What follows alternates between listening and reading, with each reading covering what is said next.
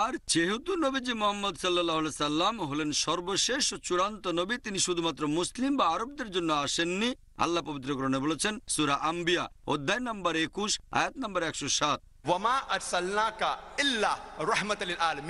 আমি তো তোমাকে প্রেরণ করেছি কেবল বিশ্বজগতের প্রতি রহমত হিসেবে সকল সৃষ্টির প্রতি রহমত হিসেবে পুরো মানবজাতির প্রতি রহমত হিসেবে। আল্লাহ বলেছেন সুরা সাবা অধ্যায় নম্বর চৌত্রিশ আয়াত নম্বর আঠাশ। আমি তো তোমাকে সমগ্র মানব জাতির প্রতি সুসংবাদদাতা ও সতর্ককারী রূপে পৃথিবীতে পাঠিয়েছি কিন্তু অধিকাংশ মানুষই এখনও এটা জানে না। তাহলে নবীজি মোহাম্মদ সাল্লা সাল্লাম শুধুমাত্র মুসলিম বা আরবদের জন্য আসেননি তিনি এসেছিলেন পুরো মানব জাতির জন্য।